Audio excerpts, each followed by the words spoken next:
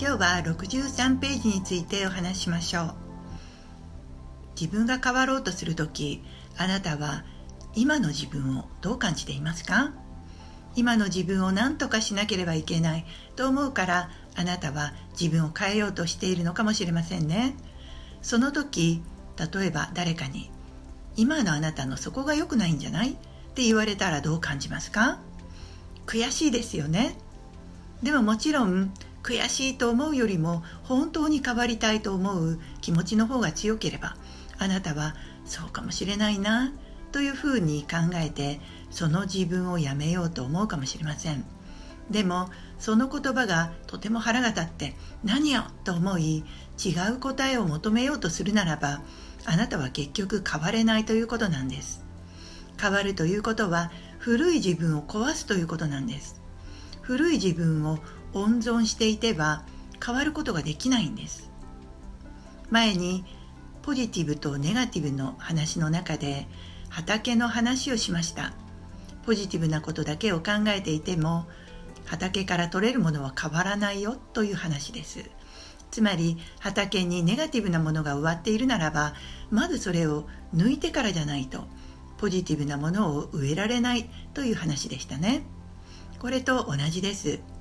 あなたにはもう古い自分というものがたくさん根付いているのでこれを全部引っこ抜いてそして新しい自分を植えなければいけません。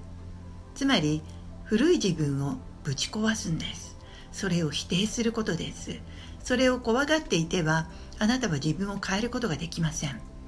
十分に自分に満足していてあとちょっとだけ変えたいという場合であってもやはりその一部だけは完全に壊すべきなんですよ。それをあまり壊したくないなんとか温存して変わろうとするとものすごく無駄な時間を使ってしまいます。それは損ですよね。ですから思い切ってぶち壊しましょう。あなたが変えたい部分がほんの一部であればあるほど思い切ってぶち壊せるんですよ。というのは変えなくてもいい部分の方が大きいからです。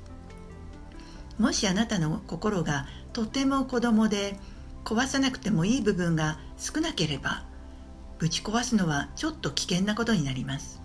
ですから必ず壊す部分が半分以下の時に自分を変えようとするはずなんです。それがまだ拮抗している場合例えば変えようとする部分が45%で変わらなくてもいい部分が55%というのであればまだまだあなたは自分を変えることを不安に思うでしょう。そういう時には人の言葉が受け入れられません。その時あなたの選択肢は2つあります。もう少し古い自分のままでいて問題が大きくなるのを待つか。